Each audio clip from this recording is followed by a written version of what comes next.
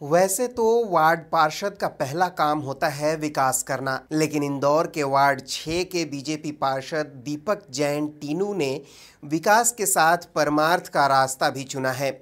ये रास्ता उन्हें सीएम शिवराज सिंह चौहान ने दिखाया है, जिस पर चलकर अब उन्होंने अपने वार्ड में इंदौर के पहले जनता क्लिनिक की शुरुआत की है। सोमवार को ज़िले के प्रभारी मंत्री जयंत मलैया और महापौर मालिनी गौड़ ने इस जनता क्लिनिक को जनता के लिए समर्पित किया।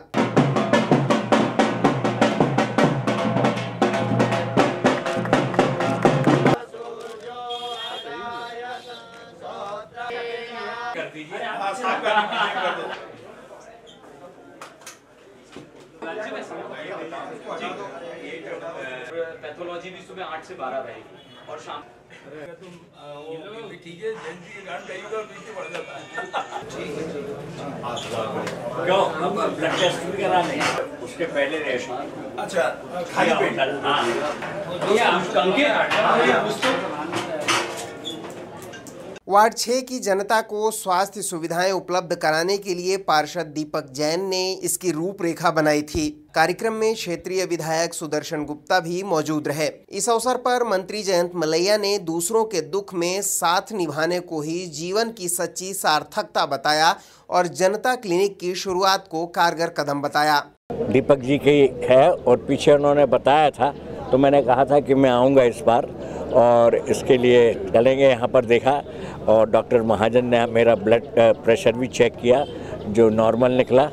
पैथोलॉजी में देखा, बताया कि सिर्फ़ सिंबॉलिक या टोकन के रूप में दस रुपये लेके यहाँ पर उसका सैंपल लेंगे और उसकी जाँच करके रिपोर्ट यहाँ पर देंगे। और ये भी मुझे बताया गया कि हर संडे को कोई ना कोई स्पेशलिस्ट यहाँ पर जितने भी उपलब्ध हो सकेंगे, आएँगे यहाँ पर और उसकी सूची यहाँ टांग दी जाएगी। तो उससे संबंधित बीमारी के लोग यहाँ से अपनी जाँच करा सकते हैं, दवाइयाँ ले सकते हैं। ये भी मुझे जानकारी दी गई कि जो दवाइयों की, कहाँ से आएँगी दवाइयाँ तो एक तो जो सैंपल का तो ठीक है, एक बहुत छोटा सा है, परंतु तो उसके अलावा आपने बताया कि बहुत सी फार्मास्यूटिकल कंपनीज़ ने खुद ऑफ़र किया है कि इस कॉज के लिए वो यहाँ पर निःशुल्क दवाइयाँ उपलब्ध कराएँगे। इस मौके पर विधायक सुदर्शन गुप्ता भी इस शुरुआत को जनता के लिए एक बड़ी सहूलियत करार दिया। उन्होंने पार्षद दीपक जैन को समाज सेवी कार्य के लिए बधाई भी दी। यहाँ पर जनता क्लिनिक प्रारंभ किया गया है। ये गरीब क्षेत्र है और अत्यंत गरीब क्षेत्र है। यहाँ पर लोग मजदूरी करके अपना जीवन यापन करते हैं। इस समय में उनके स्वास्थ्य की चिंता के लिए, उनके स्वास्थ्य सुधार के लिए, उनकी बीमारियों को दूर करने के लिए नाम मात्र के दस रुपये के टोकन पर यहाँ पर इलाज किया जाएगा। यहाँ पर लेबोरेटरी भी रहेगी।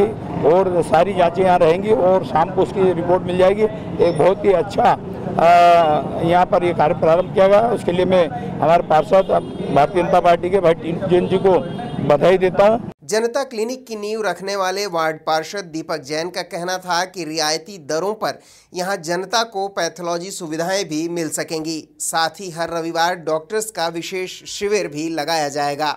ये जो कल्पना है जनता क्लिनिक की, एक सेवा बस्ती में, एक सेवा प्रकल्प के रूप में यहाँ पर प्रारंभ की जा रही है, जिसमें बहुत ही कम शुल्क पर, मात्र दस रुपये में यहाँ पर ओपीडी रहेगी, उसमें निशुल्क दवाइयाँ भी रहेंगी। श्री साई बाबा संस्थान ट्रस्ट छत्रीबाग द्वारा यहाँ पर पैथोलॉजी का संचालन किया जाएगा और उस पैथोलॉजी में जो बाज़ार का शुल्क है जैसे सौ रुपये अगर किसी टेस्ट का लगता है तो यहाँ पर 80 प्रतिशत कम शुल्क में यहाँ पर पैथोलॉजी की व्यवस्थाएँ हमने शुरू की है।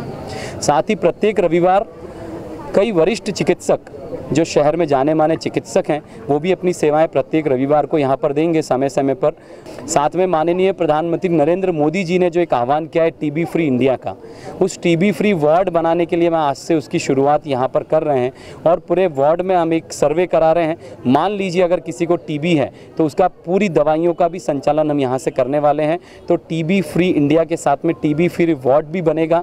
कुल मिलाकर बीजेपी में पार्षद दीपक जैन अपने नित नए परोपकारी कार्यों से वसुधैव कुटुंबकम का नारा भी बुलंद कर रहे हैं और क्षेत्र में अपनी पकड़ दिनों दिन मज़बूत करते जा रहे हैं।